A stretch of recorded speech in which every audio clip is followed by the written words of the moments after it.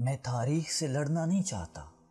अगर तारीख कहे, हज़रत हुसैन रज़ील्ला का पानी दस दिन बंद रहा, तब भी ठीक।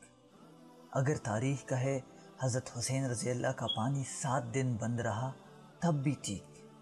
लेकिन तारीख को छेड़ने की बजाय तारीख का मुताला करता हूँ।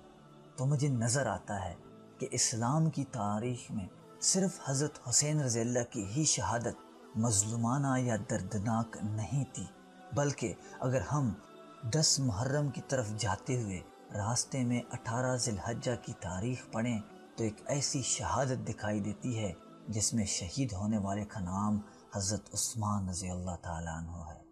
जी हाँ वही उस्मान रज़ी अल्लाह जिन्हें हम जुन्नरैन कहते हैं।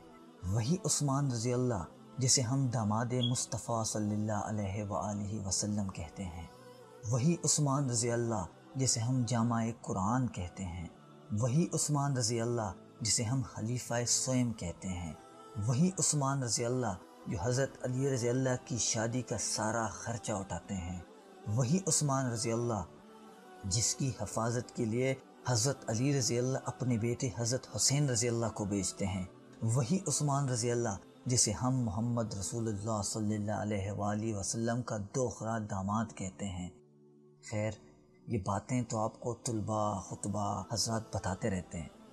क्योंकि हज़रत उस्मान रज़ी की शान तो बयान की जाती है। हज़रत उस्मान रज़ी की सीरत तो बयान की जाती है।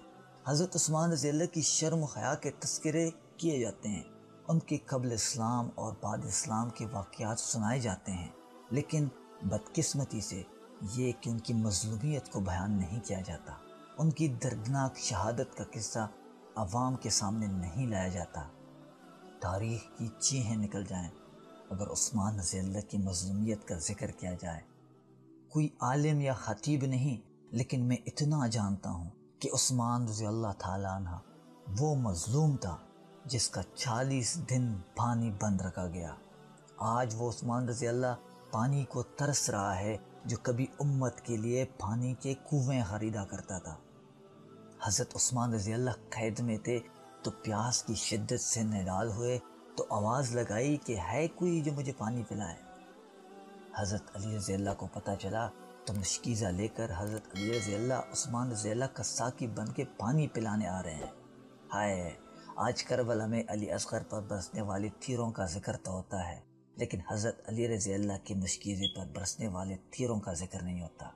बागियों ने हज़रत अली रज़ी अल्लाह के मुश्कीज़े पर तीर बरसाने शुरू किए तो हज़रत अली रज़ी अल्लाह ने अपना अमामा हवा में उछाला ताकि उस्मान रज़ी अल्लाह की नज़र पड़े और कल क़यामत के रोज़ उस्मान रज़ी अल्लाह अल्लाह को शिकायत ना लगा सके कि अल्लाह मेरे होन जब प्यासे थे तो तेरी मखलूक से मुझे कोई पानी फैलाने ना आया। करबला में हुसैन रज़ी अल्लाह का साकी अगर अब्बास था तो मदीना में उस्मान रज़ी अल्लाह का साकी अली रज़ी अल्लाह थे। उस उस्मान रज़ी को चालीस दिन हो गए एक घर में बंद किए हुए, जो उस्मान रज़ी मस्जिद नबी के लिए जगह ख़रीदा करता था। आज वो उस्मान रज़ी किसी से मुलाकात नहीं कर सकता, जिसकी महफिल में बैठने के लिए सहाबा चौक दर चौक आया करते थे।